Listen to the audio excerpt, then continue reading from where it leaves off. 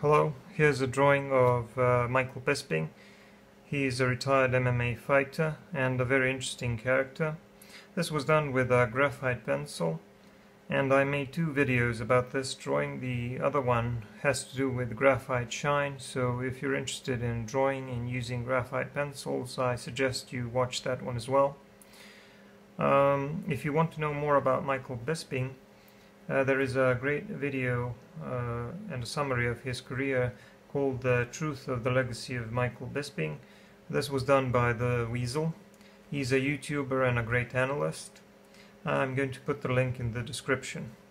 So I hope you like this one and make sure you check out my other videos.